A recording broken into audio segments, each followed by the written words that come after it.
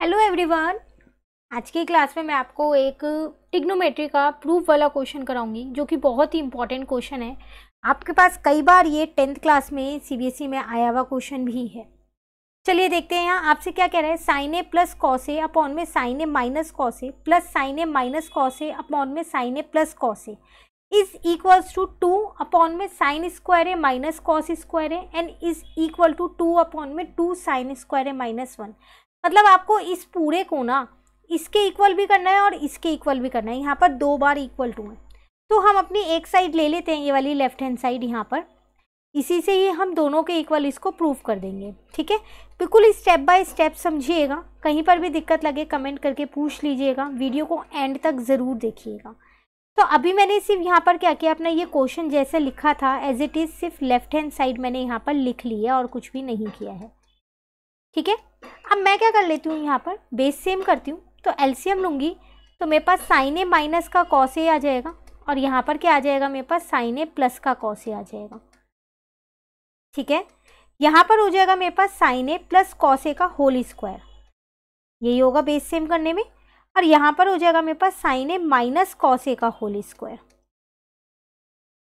Clear अब आगे हम क्या करेंगे? इसमें आइडेंटिटी लगा देते हैं। ए प्लस बी के होल स्क्वायर की, जो कि होती है मेरे पास ए स्क्वायर प्लस का बी स्क्वायर प्लस का टू ए बी और एक लगा देंगे ए माइनस बी के होल स्क्वायर की, जो होती है ए स्क्वायर प्लस का बी स्क्वायर माइनस का टू ए बी ठीक है? तो फ़र्स्ट वाले ब्रैकेट में आइडेंटिटी लगाई तो ए स्क्वायर प्लस का बी स्क्वायर प्लस का हो जाएगा मेरे पास यहाँ पर टू ए बी ठीक है? सेकेंड ब्रैकेट में मैंने यहाँ पर आइडेंटिटी लगाई तो ये हो जाएगा मेरे पास ए स्क्वायर प्लस का हो जाएगा मेरे पास बी स्क्वायर। अब यहाँ हो जाएगा माइनस का टू ए बी। नीचे वाला नंबर मेरे पास अभी एज इट इज़ लिखा है। आप चाहो तो इसमें भी आइडेंटिटी लगा सकते हो। ए माइनस बी और ए प्लस बी की आइडेंटिटी यहाँ पर लग रही है, जो कि होती है ए स्क्वायर माइनस का बी स्क्वायर तो इसका मतलब साइन स्क्वायर है माइनस का हो जाएगा कॉस स्क्वायर है ठीक है? अब देखो, ये आपस में कट हो गए।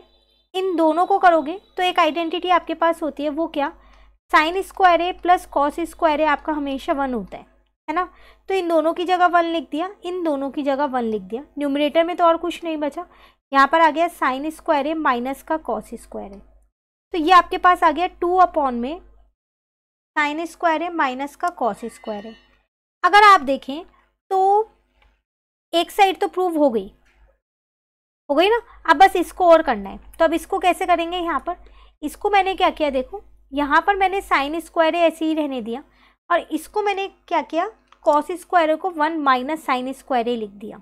कैसे लिखा? इस वाली आइडेंटिटी से लिखा है। ट्रांसपोज करके। ठीक है?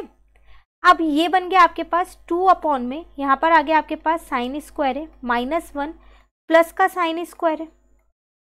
तो ये आपके पास आ गया टू अपॉन में। टू साइन स्क्वायर है। माइनस का वन और आपके पास दूसरी साइड यही थी प्रूफ करने के लिए। तो देखा ना, आपने एक ही से आपने दोनों को इक्वल प्रूफ कर दिया है हेंस प्रूफ ये आपका आंसर इंपॉर्टेंट क्वेश्चन है, बिल्कुल स्टेप बाय स्टेप समझ के करिएगा, कहीं भी दिक्कत लगे तो पूछ लीजिएगा। वीडियो अच्छी लगे तो लाइक ज़रूर कीजिएगा। ऐसे और भी बहुत सारे क्वेश्चन हैं टिग्नोमेट्री के जो हमने कर रखे हैं। चैनल पे अपलोड है, एक सेपरेट वीडियो बनी हुई है प्लेलिस्ट बनी है उसकी। ज़्यादा से ज़्यादा अपने फ्रेंड्स के साथ वो प्लेलिस्ट शेयर कीजिएगा। और अगर आप चैनल पे नए हैं तो चैनल को भी सब्सक्राइब कर लीजिएगा। Thank you.